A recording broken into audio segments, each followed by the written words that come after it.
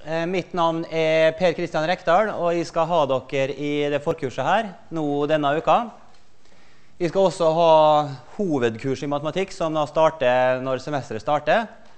Så dette her er da et forberedende kurs til, til det hovedkurset.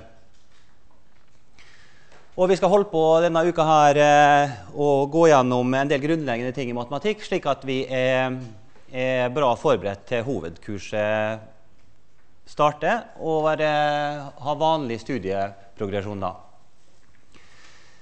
Litt praktiske ting i begynnelsen. Eh, vi tar opp det kurset her på video. Så det er et kamera oppi taket der oppe som eh, tar opp det her, og så legger vi det på den åpne kursportalen vår med link til YouTube. Altså Det blir lagt opp på YouTube, rett og slett, slik at du kan se det her etterpå. Og Jeg skal si litt om det eh, ganske snart. Slik at dere vet at det er et kamera eh, inne i bildet som vi kan se på. Det er tre ting vi skal ha i det kurset her. Eh, det er disse tre tingene. Og det er så to små heftene de er, det er oppgaver og løsninger som dere får gratis. Eh, og vi skal ta i håndsopprekning etterpå hvem som ikke har fått det, for da skal vi trykke opp noen ekstra. Så er det kompendiet. Det ser sånn ut. Eh, det kan dere laste ned gratis på den åpne kursportalen vår himoldex.no. Eller dere kan, eh, dere kan, printe det ut sjøl hvis dere vil. Eller de som ikke har gjort det, kan kjøpe det på bokhandelen, som er rett her borte. Slik at vi har det når vi eh, går gjennom kurset. Så kan vi bare gå og slå opp på kompendiet og starte på forordet her nå. Og Det er egentlig litt repetisjon av det jeg har sagt, og det er på side 5 i kompendiet. Så da kan alle slå opp der på side 5 i kompendiet.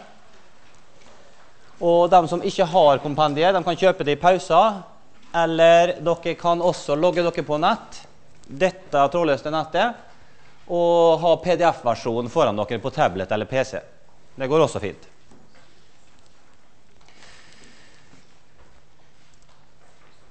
Og Formålet med dette her, det er dem som mangler matematikk, eh, eller syns matematikk er vanskelig.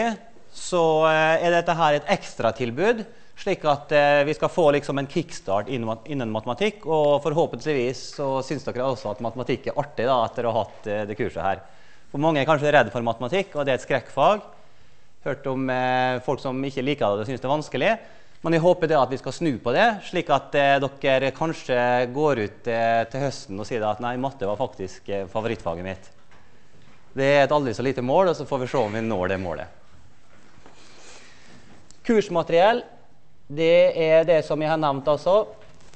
Det er kompendium 2014. Det er oppgaver 2014, og det er løsninger 2014. Når det gjelder kompendiet, så kan vi ikke bruke tidligere års kompendium. Fordi at eh, jeg har forbedra det i år, og jeg har endra litt sidetall og nummerering. og sånne ting, Lagt til ting, tatt ut ting. Slik at eh, det beste er å ha årets kompendium, og gjerne i en papirversjon. For det at dere trenger ikke å skrive ned alt som skrives på tavla. Dere kan, trenger bare å skrive ned en ekstra ting, og, for jeg skal følge det kompendiet her ganske nøye.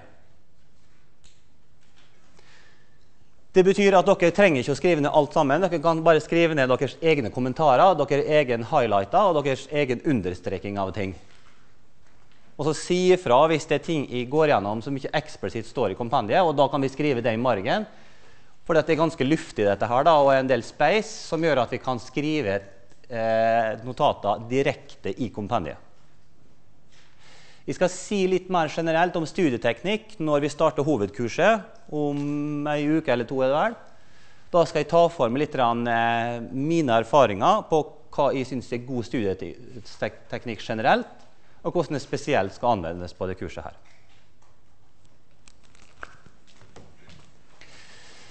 Videoforelesninger det er også en del av si, pensum og kursmateriellet.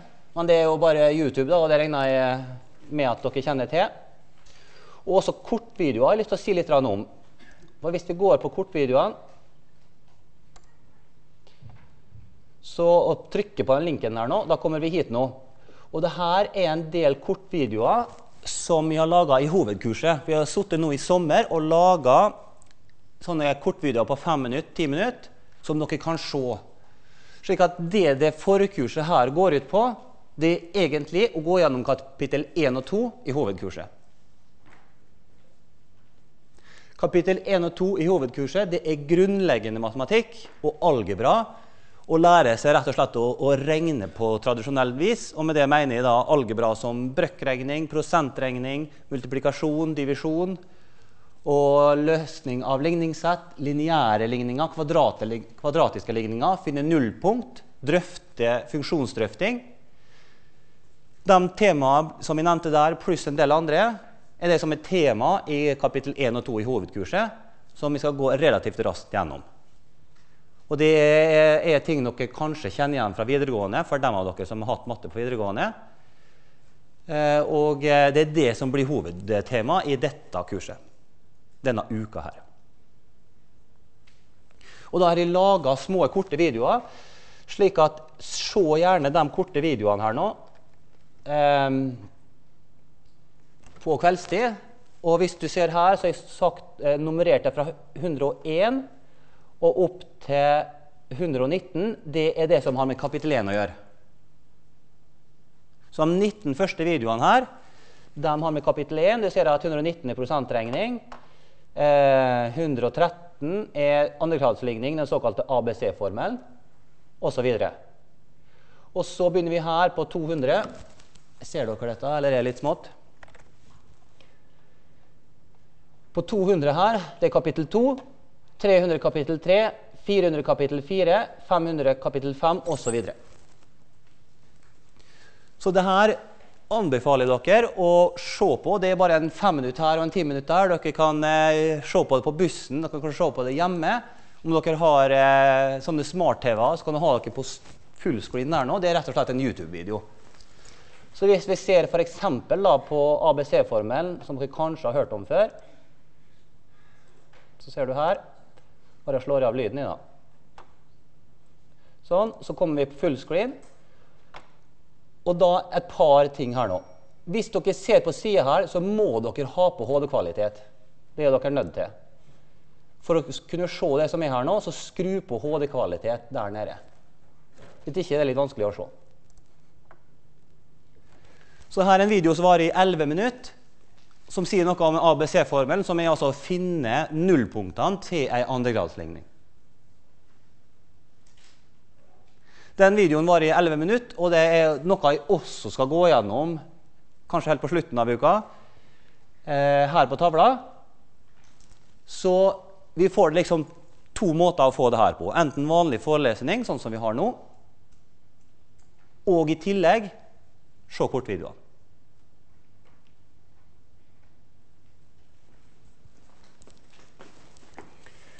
Greit. Så mye mer om YouTube som vi ikke skal si, for det tror jeg dere kan. Så litteratur, ja. Det har vi sagt litt om. Det er tre ting. Det er oppgaver og løsninger, og det er kompendium. Og print det gjerne her ut hjemme, slik at dere har en papirkopi, eller kjøp det på bokhandel.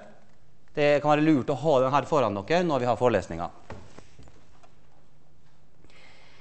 Innholdet ja, i kompendiet Oppstarten er i dag, og stedet er her vi er. Og her er timeplaner. Så det Vi gjør nå, vi har to timer forelesning, tradisjonell forelesning. Så har vi én time med oppgaveløsning. Da bare sitter vi sånn vi gjør nå. Og så sitter vi og løser oppgaver fra oppgaveheftet. Og jeg skal fortelle dere hvilken oppgave det, det er. Det er og det sier etter hvert, da, men veldig forenkla sagt, så er det bare dem som vi har satt en uh, rød boks rundt her nå, det er de oppgavene vi skal konsentrere oss om først og fremst. Og Hvis dere blir ferdig med oppgavene, så er det bare å gå videre. Så kan dere sitte enten alene og gjøre de oppgavene, eller to og to, eller tre og tre. Og så kan de komme rundt og hjelpe dere. Og det er definitivt lov å hjelpe naboen.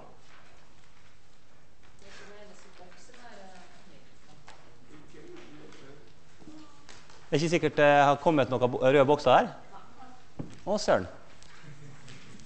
Ok, men Da har jeg kanskje sendt feil til trykkeriet. Da. Men da skal, vi, da skal vi skrive opp på tavla da, det som er røde bokser.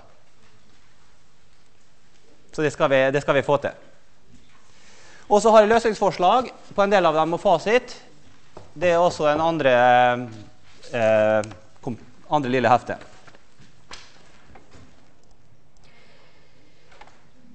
Og så har vi pause fra tolv til kvart over ett.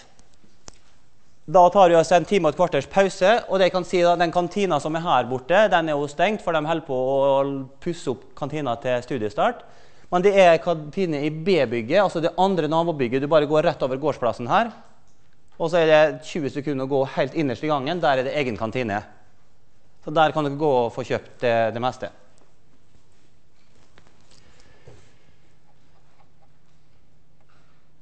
Ja, Så sier dere om den åpne kursportalen vår. Der har vi forkurssida. Der ligger alt av kursmateriell.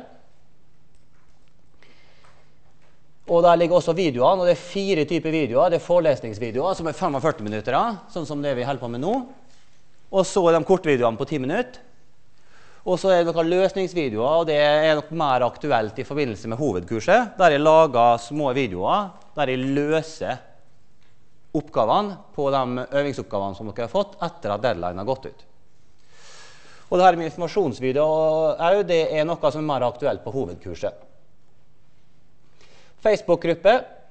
Vi har laga eget Facebook-gruppe i det emnet her. Og hvis vi kan slå opp der, da, så ser den sånn ut. Og eh, Der kan dere gjerne bli med alle sammen. Og hvis dere da bare Eh, jeg tror dere bare søker på mat001, så kommer det opp, tror jeg. Og Da kan dere bli med på den gruppa der, for her blir det lagt ut en del beskjeder. Og en del eh, Der kan vi gjerne bruke aktivt. Og det er jo også erfart, da, for vi begynte med dette i fjor, er det at hvis dere lurer på en del oppgaver, så bare spør dere med, og så kan de lage sånne enkle løsninger som dette her, og, og rett og slett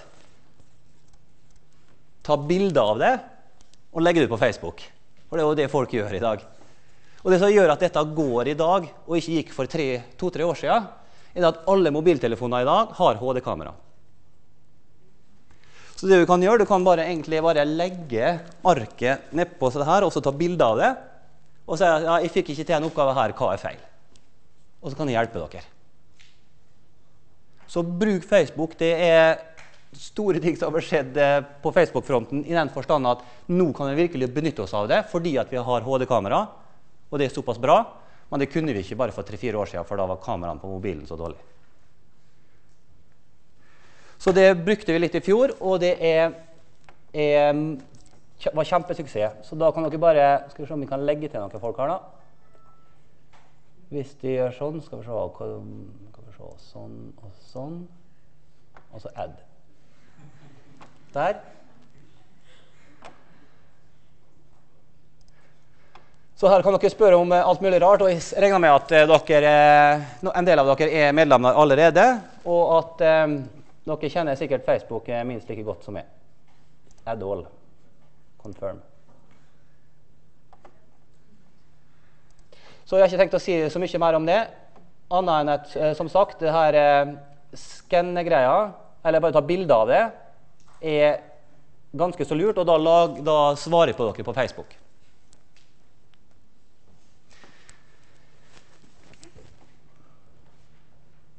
Skal vi se her Kan vi bare få til dette her nå? Add all her. Confirm. Sånn. Skal vi se om vi får til den der.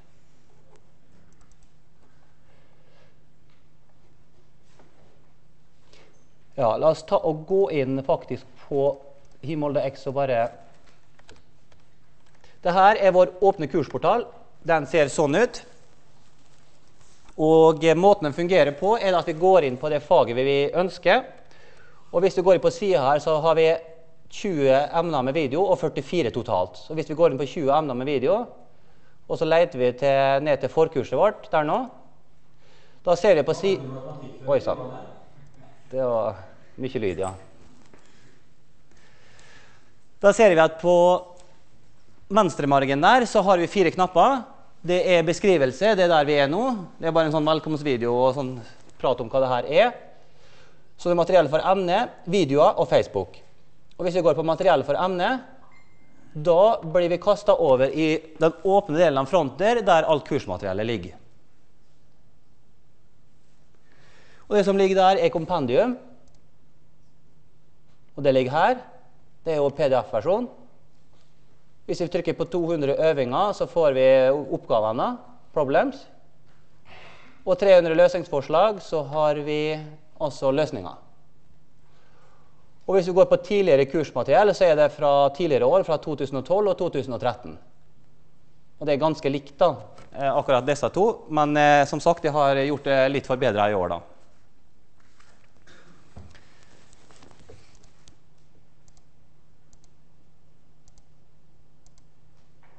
Så, oi, så, går vi på videoknappen. Og Der er det foreløpig ingen videoer, for vi har jo ikke lagt ut noen videoer av forelesningene enda. Men det kommer eh, sannsynligvis samme kveld, i løpet av samme kveld som blir lagt ut. Jeg blir lasta opp på YouTube, og så finner dere det her på Himmeldex. Men her er nedtrekksmenyer. Og Hvis du trykker på nedtrekksmenyer, da får du de fire typene videoer som vi her snakker om. Forelesning, kortvideo, løsningsvideo og informasjonsvideo. Men alt dette er jo tomt nå, da, for vi har jo ikke begynt ennå.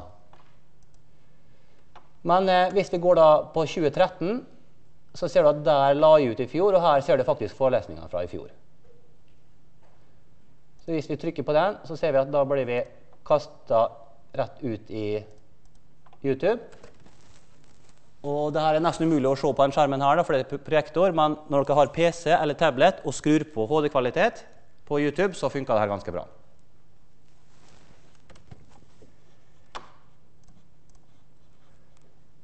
Så er den siste knappen den Facebook. Det er bare en link til Facebook-gruppa vår.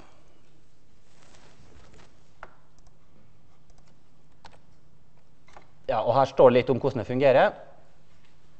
Og Her ser du et eksempel. da. Hvis vi går på side 12 i kompendiet og ser, så ser du her et eksempel da, fra, som vi har sagt, sett, som vi har lyst til at dere skal benytte dere av. En av tingene dere lurer på, så kan dere bare ta bilder av det med mobilen deres hvis dere ikke får det til. Og så legger dere på Facebook-gruppa, så kan de svare der. Hvis dere ikke har lyst til å bruke Facebook-gruppa, så kan dere chatte med meg privat. For det er ikke sikkert alle har lyst til å legges ut på Facebook-gruppa av spørsmål. Men det beste er om dere gjør det, for da kan, de, kan andre også se spørsmålet. Men det jeg ofte gjør da, hvis dere adresserer spørsmålet til meg privat på Facebook, så kan jeg svare public. Akkurat sånn som jeg gjorde da på på denne oppgaven. Det var noen som lurte på en oppgave her. Oppgave 301G. Og da bare svarte i public. Det er også en god mulighet, for da får alle liksom innblikk i det.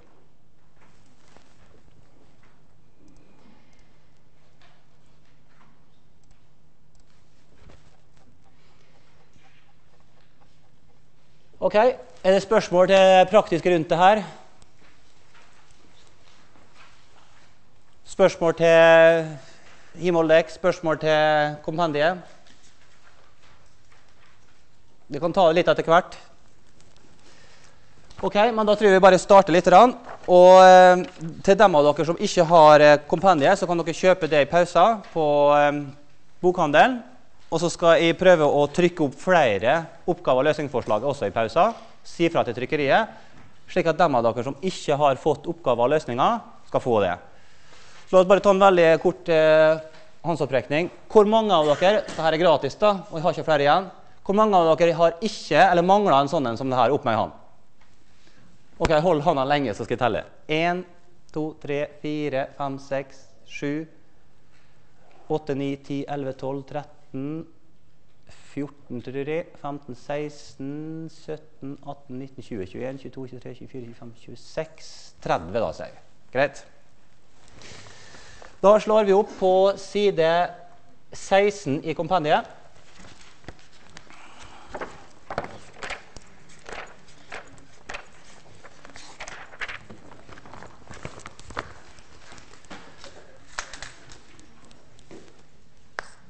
En, en algebraiske uttrykk, side 16. Og da har man generelle regler for algebra som vi skal kunne, som er A pluss A. Det er det samme som 2A. Det er fordi at disse her kan du si er i samme familie. Og det vi også kan tenke det her som, at dette er det samme som 1 ganger A og 1 ganger A. Så det står liksom en usynlig ener foran her. Og når det ikke står noe, så betyr det en ener, for da er det ikke noe vits. Da er det litt overflødig. Så vi tar bort den og tar bort den, og vi får 2A. A pluss B det er det samme som B pluss A.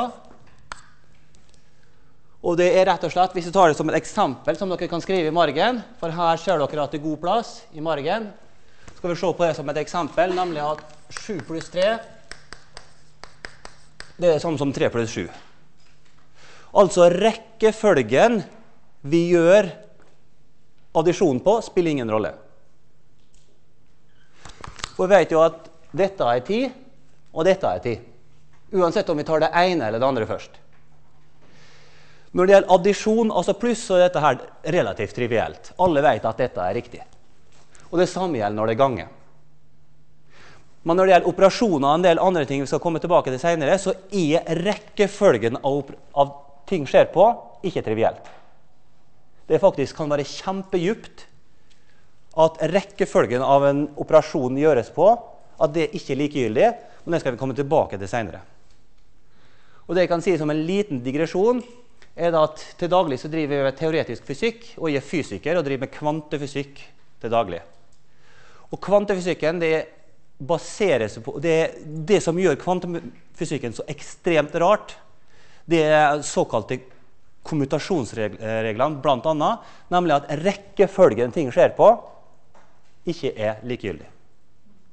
Og Det gjør at du får ekstremt rare effekter, som dere kanskje har hørt om i kvantemekanikk. Og en del av disse effektene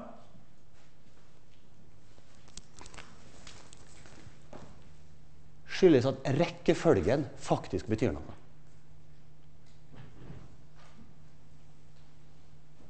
Så den uskyldige loven her den, eh, at, rekkefølgen, at rekkefølgen ikke betyr noe, det er riktig for pluss og det er riktig for gange.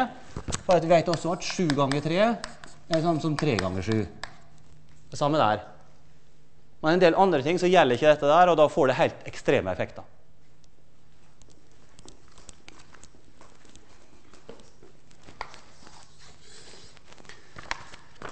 Så la oss ta et par eh, eksempel. Jeg prøver å ta det her. Og da kan vi gå på side 17, nemlig at AB minus 3A pluss B minus 5AB pluss 4B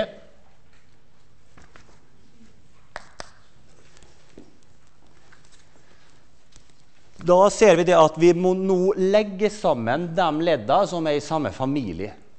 Og hvis vi ser her at her har vi AB her, med det mener vi A ganger B.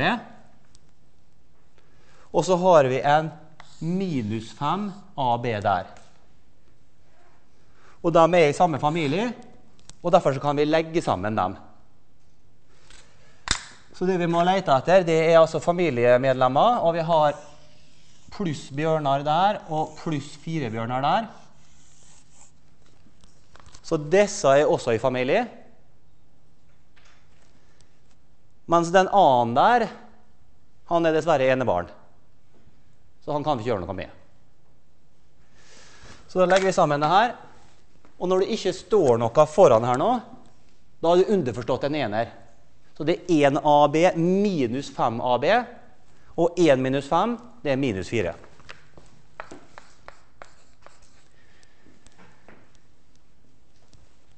Så det ene barnet her kan vi ikke gjøre noe med. Vi kan ikke legge fra legge den til eller trekke fra noen andre. Den må bare være med.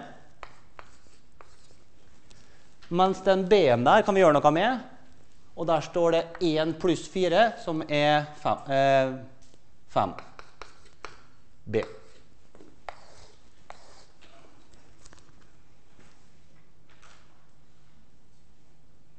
Da har vi lagt eh, sammen dette uttrykket her og gjort det så kompakt som det lar seg gjøre.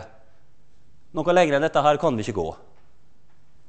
For nå har vi liksom tre forskjellige familiemedlemmer Vi har altså en B, A og en AB. Vi kunne kanskje ha faktorisert det der, men det skal vi komme tilbake til seinere. Annet eksempel. 3AB pluss B minus parentes AB pluss 2B pluss C. Her kommer vi til det faktum at vi må løse opp en parentes, og parenteser er ekstremt viktig.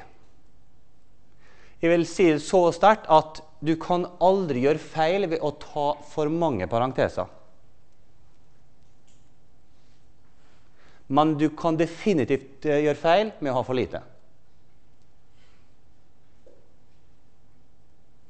Her har vi parentes foran hele dette dyret her. Og da er det altså minus foran hvert enkelt ledd. Så la oss se på det her og starte med å løse opp den parentesen. Da må jeg bare skrive opp dette først. Og når det ikke står noe foran her, da er det underforstått en 1. Da er det underforstått en pluss 1. Og minus og pluss gir minus. Minus og pluss gir minus. Og minus og pluss gir minus.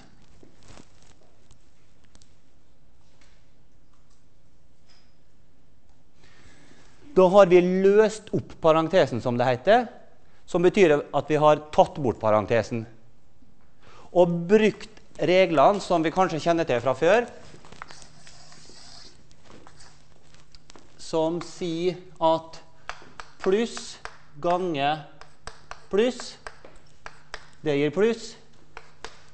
Og pluss ganger minus, det gir minus. Og minus ganger minus, det gir pluss.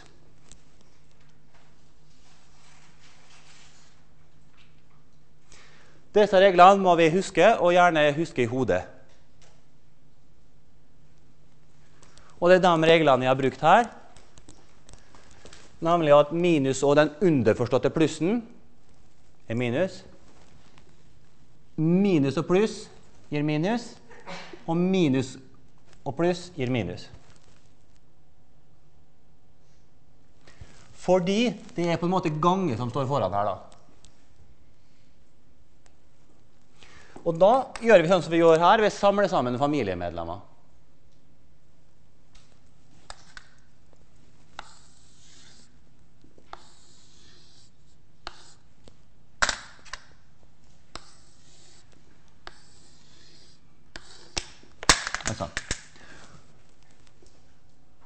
Og C-en er enebarn. Da blir det her 3 minus 1 er 2. 1 minus 2 er minus 1.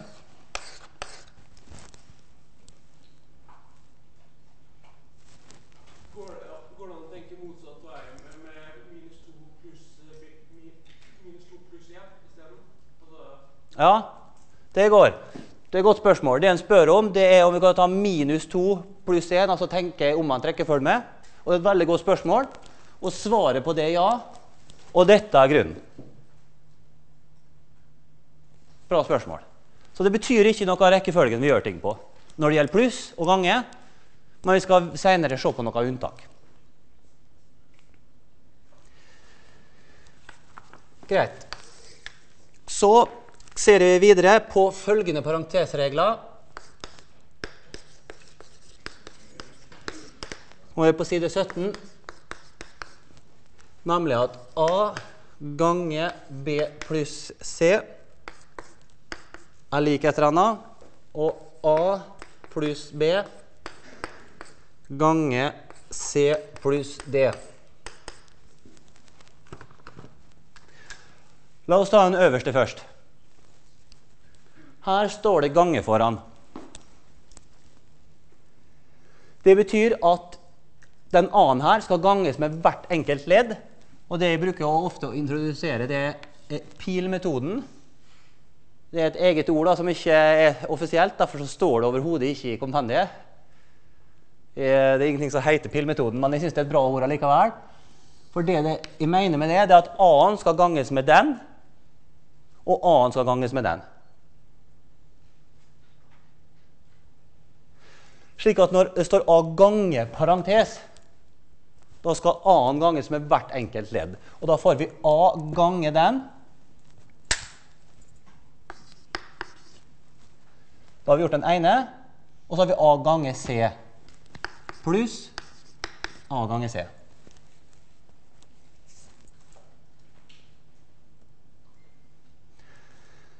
Og helt til tilsvarende her nå Så hvis vi gjør det uoffisielle trikset vårt igjen, nemlig eh, pilmetoden, så skal hvert enkelt ledd i den ene ganges med hvert enkelt ledd i den andre leddet. Det betyr at A-en skal både ganges med C og D. Og Bjørnar skal ganges med C og det. Slik at her får vi 2 pluss 2 totalt fire ledd. Så la oss se på dette her.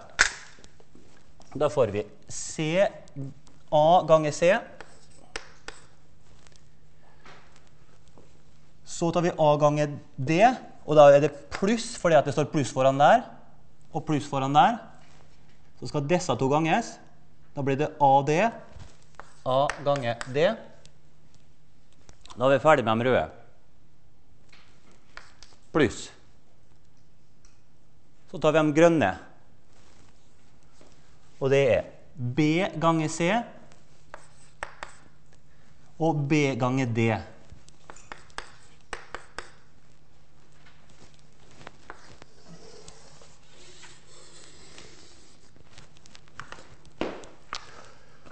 Og dette her er en veldig viktig regel. Begge to er det, men særlig den nederste for den skal vi bruke veldig ofte i forbindelse med, eh, i forbindelse med kvadratsetningene. Den første og, og um, andre kvadratsetning. Og den har fått det, Hvis jeg slår opp da på side 118, så skal vi skrive ned de kvadratsetningene.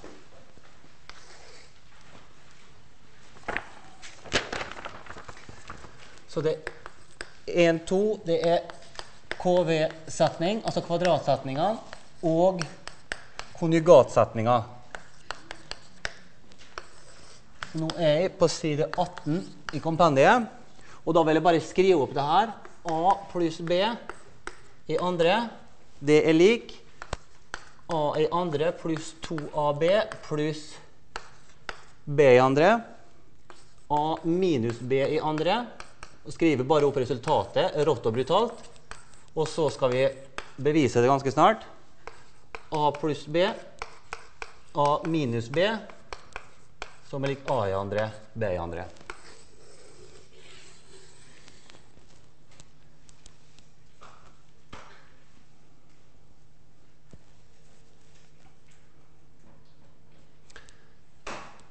Det vi nå skal gjøre, det er på en måte å bevise, gjøre litt mellomregninger for hvorfor det er sånn som det er her. Det er steg 1. Etter vi har gjort det, så skal vi basert på det beviset eller de mellomregningene forstå hvorfor det er pluss her, og hvorfor det er minus der. Og til slutt så vil jeg at vi skal ha, lage oss noen basert på den beviserfaringa. Så vil jeg at vi skal lage våre egne huskeregler på hvorfor kvadratsetningene og konjugatsetninga er som den er, slik at dere kan skrive det opp på strak arm uten å slå opp i formelsamlinga.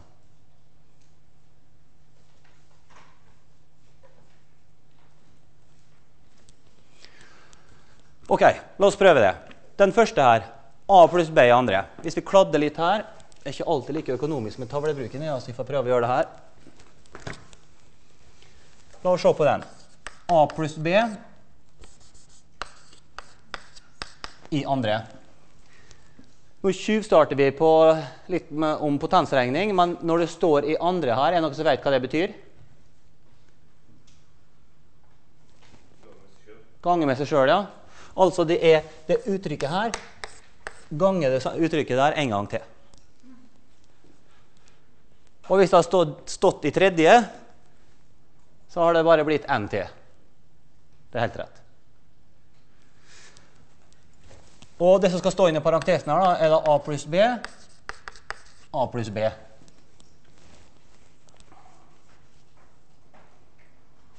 Så det her, A pluss B i andre, det er bare en kompakt måte å skrive det her på. Og klart at Hvis vi har hatt A pluss B opphøyd i sjuende, så er det mye bedre å skrive det på opphøyd i sjuende form enn pam, pam, pam, pam, pam, pam, pam, pam, pam, pam, pam, pam. Da ble det mye skriving.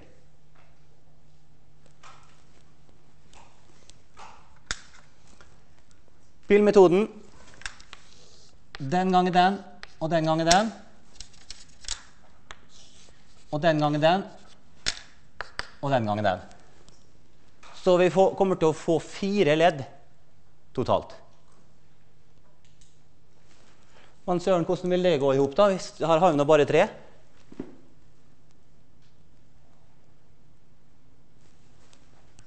For her ser vi at når vi gjør dette her, så får vi jo fire ledd. Mens her her har vi bare tre. La oss se litt på hvorfor det er sånn. A ganger A blir jo A i andre. A ganger B blir AB. Så tar vi B ganger A, det blir den.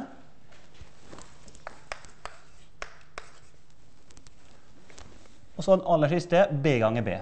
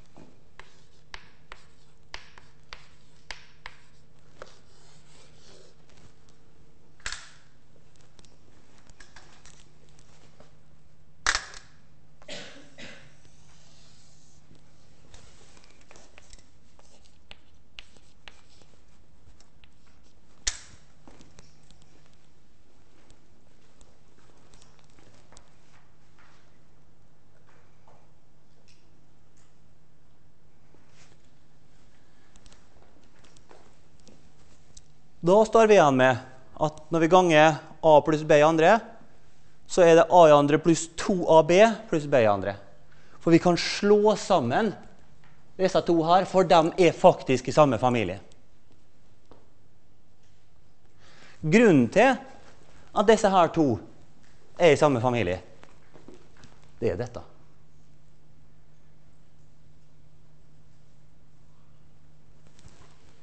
Og når vi slår sammen disse her nå, da ser vi at vi får bare tre ledd her. Mens her hadde vi fire, for i et spesialtilfelle her så kunne vi slå sammen disse to karene.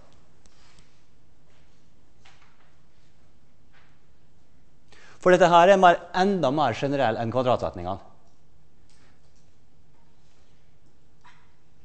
Så både kvadratset, alle disse tre setningene her baserer seg på denne setninga her. Så dette her på en måte er den generelle, som er helt generell. Og hvis vi har AB der og også AB der, så er det et spesialtilfelle, og da får vi dette. Og for det spesialtilfellet så dumper vi borti situasjonen at AB pluss BA Jo, men det er jo det samme. Ja, men da slår vi dem sammen. De er i familie.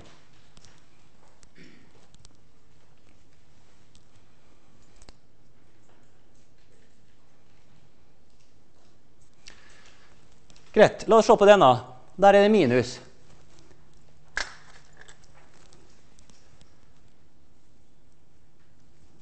La oss se på forskjellen. da. Det betyr at hvis det er minus der, så er det minus her. Men da er det minus der, og det er minus der.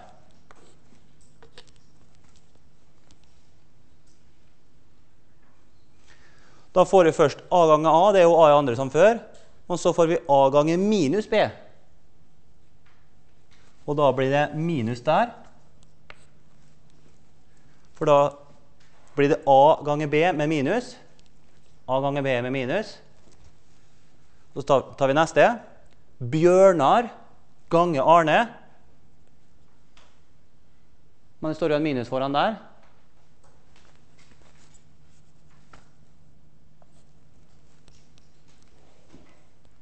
Så da er det også en minus der. Og minus og minus gir pluss.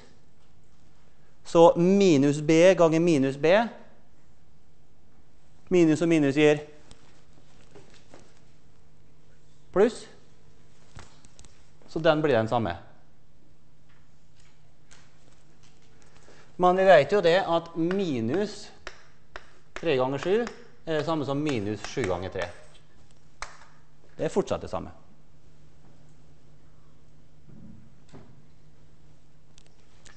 Så dette her det blir da bare minus 2AB.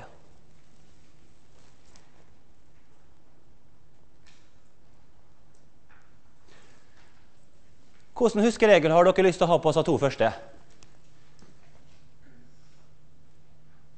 Bruk litt tid i metoden. Og hvilken huskeregel vil dere ha?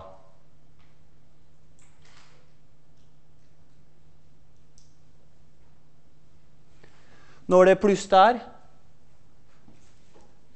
så er det pluss der. Når det er minus der, så er det minus der. Det er min huskeregel. Enkelt og greit.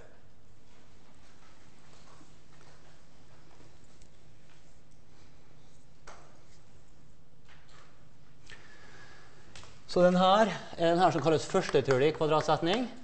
Og den her er vel andre, stemmer det? Andre kvadratsetning. Ja. Men jeg har lyst til at vi skal spandere på oss og se på den der. For den her har bare to ledd. Og er ikke det rart, da? For at utgangspunktet så var den generelle storebroren vi kan kalle det da, den største av de største behøverne, den har jo fire ledd. For det er to her og to der, og så ganger vi det, så får vi fire.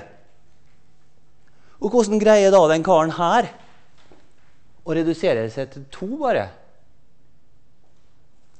La oss bevise det. Og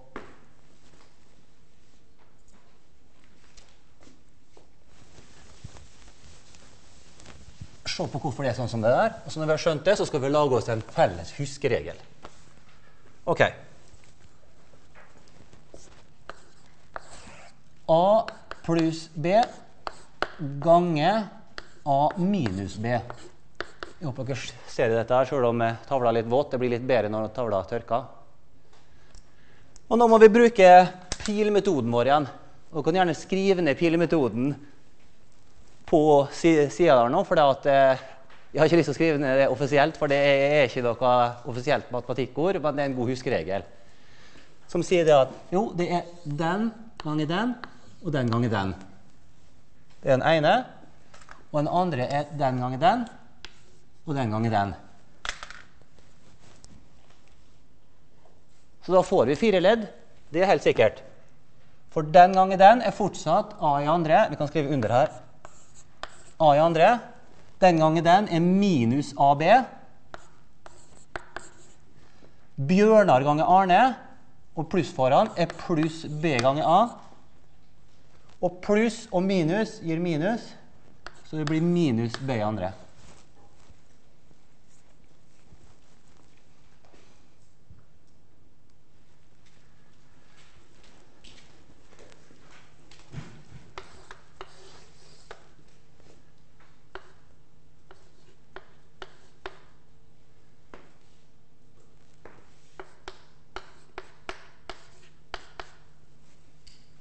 En jeg kan, kan fortelle meg hva det her er?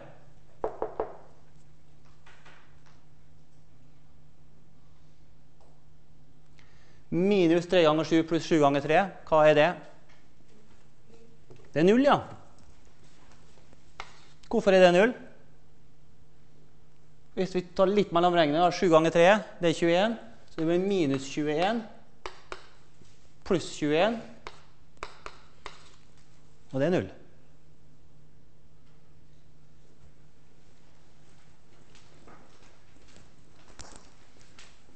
Hvis vi ser på dette her Er det noen som har lyst til å fortelle meg noe?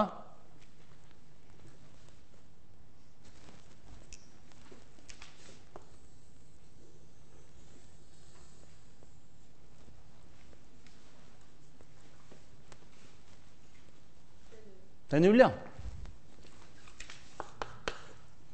Så det strek over sånn. da. Kansellasjon bruker jeg ofte å si dette her. At det ene leddet kansellerer det andre, og vi står igjen bare med A i andre minus B i andre.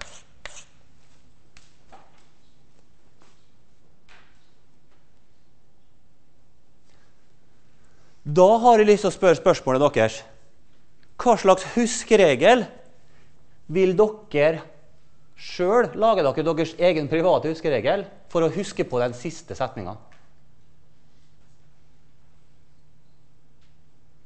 Hva slags huskeregel har dere lyst til å ha? Bruk stirremetoden på den der. Hva slags huskeregel? Når det er miks mellom fortegna, den ene pluss og den andre minus, hva da? Jo, da tar den ene leddet livet av den andre. Og vi står ikke igjen med fire ledd, sånn som vi egentlig hadde i utgangspunktet, men den går mot den, og vi står igjen bare med to. Så dette her, som kalles kryssleddet, og det er faktisk et ord som er offisielt, så det kan dere faktisk skrive inn på side hva det er, er det side 18? At det her kalles ofte kryssledd. Så skriv gjerne pil sånn som dette. Kryssledd. Der. Og det her er kryssledd. Det kan dere gjerne skrive inn på side 18 i kompendiet, for det er faktisk et offisielt ord. For det kryssledd er det som blander A og B. Krysning av dem.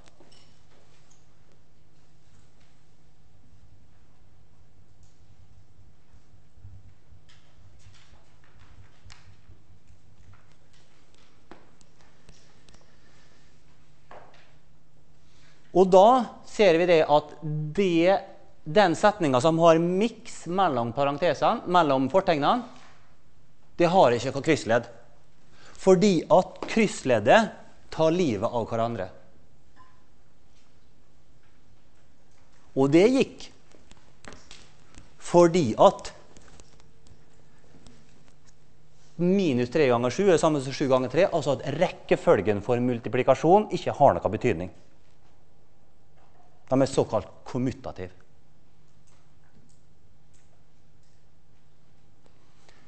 Da har vi gått gjennom de tre setningene som er veldig viktige. Første og andre kvadratsetning og konjugatsetninga. K-setning kaller jeg bare den her. Konjugatsetninga, og Navnet på det stammer fra kompleks teori i matematikk, som ikke vi skal lære om her. Men det er en grunn til at det har det navnet. Og det henspiller på det faktum at kryssleddet kansellerer.